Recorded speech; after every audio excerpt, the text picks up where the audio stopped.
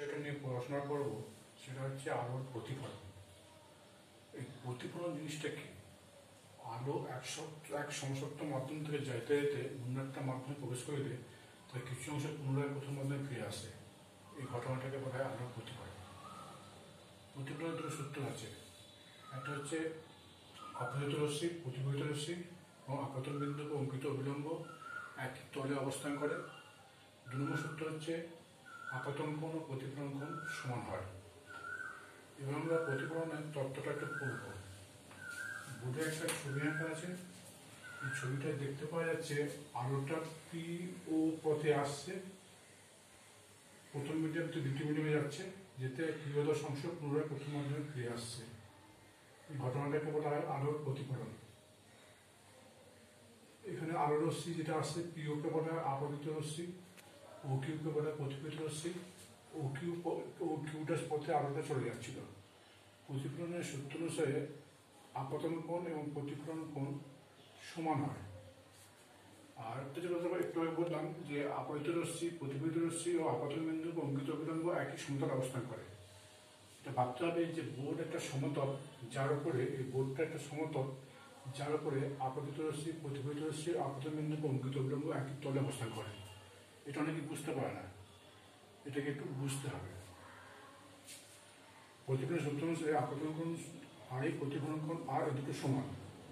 আলো রশ্মিটা পি ও পথে আসছিল ও কিউ পথে চলে গেছে। সেক্ষেত্রে আলোটা ও কিউ ডাস করে চলে যাচ্ছিল।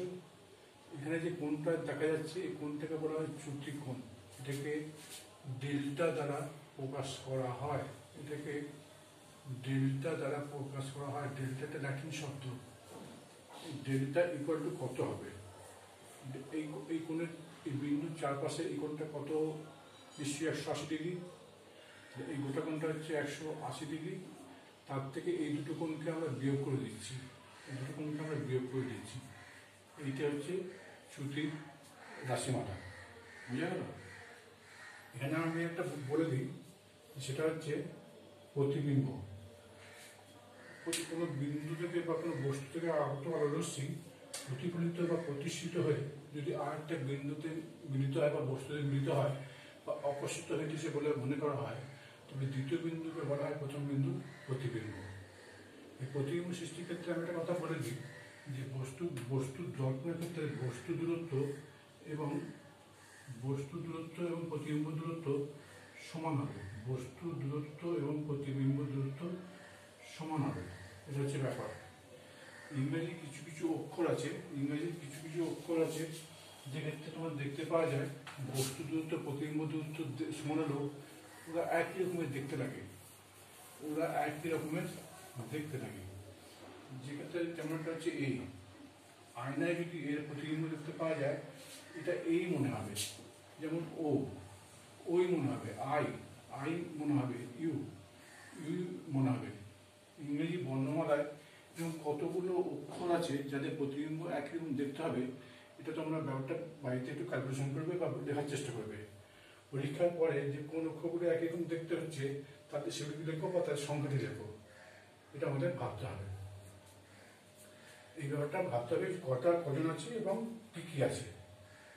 এবার যেটা যে ব্যাপার হচ্ছে, সেটা যেটা পড়ব, সেটা হচ্ছে আমাদের পেরিস্কোপ পেরিস্কোপটা পড়ার সময় আমাদের একটা ভাবতে হবে পেরিস্কোপ হচ্ছে একটা অক্ষের উপরে, একটা অক্ষ আছে, সেই অক্ষের উপরে দুটো দর্পণ পঁয়ত্রিশ ডিগ্রি কোণ করে রাখা আছে। এদিক দিয়ে আলোটা আসছে, এদিক দিয়ে দুবার প্রতিফলিত হচ্ছে দুবার প্রতিফলিত হয়ে এটা এদিক দিয়ে বেরিয়ে যাচ্ছে। এখানে দুবার পার্শ্ব পরিবর্তন ঘটছে। দুবার পার্শ্ব পরিবর্তন ঘটার জন্য উম, রেখাটাকে দেখতে ছবিটাকে দেখতে বা বস্তুটাকে দেখতে একদম লাগে। যদি একটা তীরচিহ্ন এখানে দেওয়া হয় দেখা যাবে এর প্রতিবিম্বটা একটা সোজা তীরচিহ্নই হচ্ছে। কয়েক বছর আগে তোমাদেরকে একজন দাদা আমাকে একটা পেরিস্কোপ তৈরি করে উপহার দিয়ে গেছে। এই পেরিস্কোপটা হচ্ছে এখানে একটা উপরে একটা দর্পণ আছে এবার এখানে একটা খোলা যায় খোলা ঘর আছে তলায় একটা দর্পণ আছে এখানে একটা খোলা ঘর আছে। আমি যদি সামনে একটা বাধাকে রেখে দিয়ে ও পাশে কি আছে সেটা যদি এদিক দিয়ে দেখি, স্পষ্ট দেখতে পাওয়া যাবে। সামনে একটা বা ওপাশে দেখি, স্পষ্ট দেখতে পাওয়া যাবে। এই ঘটনাটা হচ্ছে পেশিবের ঘটনা। এটা একটা দাদা আমাকে তৈরি করে দিয়ে গেছে এটা একটু সুন্দর সেরে আমাকে করে দিয়ে গেছে। আচ্ছা এবার যেটা ঘটনা হচ্ছে যে খ্যান- মেলায় গেলে একটা ঘটনা দেখতে পাওয়া যায়। মেলায় গেলে একটা ঘটনা দেখতে পাওয়া যায় যে তলায় একটা টর্চ জ্বলছে, উপরে বিভিন্ন প্রকার গাছের সরু সরু শাড়ি আছে। এই শাড়িগুলো দিয়ে একটা ঘটনা দেখতে পাওয়া যায়, এখানে টর্চ জ্বলছে, আলো যে এখান থেকে আলোটা যাচ্ছে যে এখানে গোল গোল হয়ে বেরিয়ে আসছে। এখান থেকে আলোটা যাচ্ছে, এখানে গোল গোল হয়ে বেরিয়ে আসছে। এক্ষেত্রে যেটা মনে হচ্ছে, আলো যেন বাঁকা পথে যাচ্ছে। আলো যেন বাঁকা পথে যাচ্ছে। কিন্তু আলো তো বাঁকা পথে যায় না। এই ঘটনাটা কেন ঘটে? এই ঘটনাটা ঘটে হচ্ছে, আমরা যদি সরু সরু যে পাতা যেগুলো আছে, সেগুলো যদি একটু ভালোভাবে নিই, দেখা যাবে এটা এরকম টাইপের হচ্ছে। আলোটা এখানে এইভাবে যাচ্ছে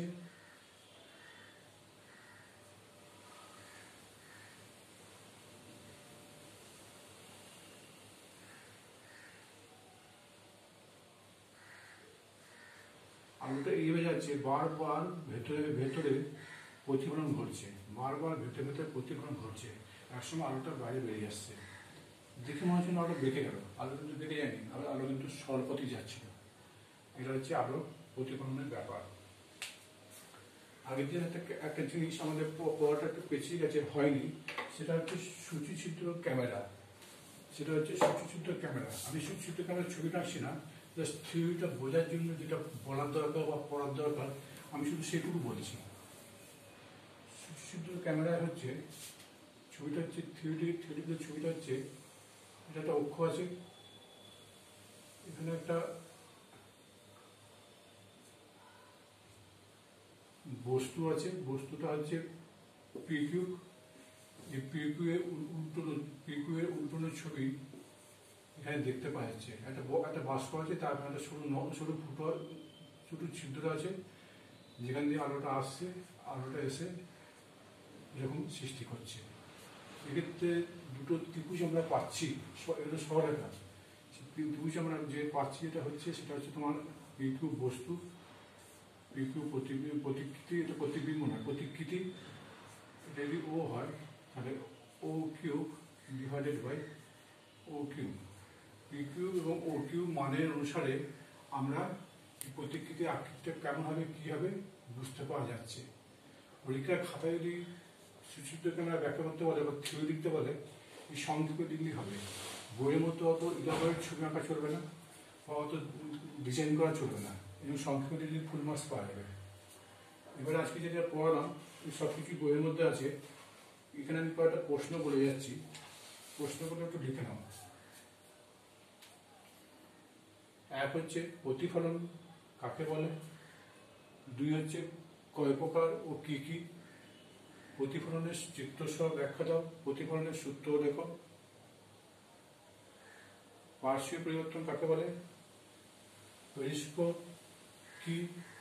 সুচিত্র ক্যামেরা কি? ওই ক্যামেরার ব্যাখ্যা দাও। এগুলো একটু বাড়িতে প্র্যাকটিস করবে।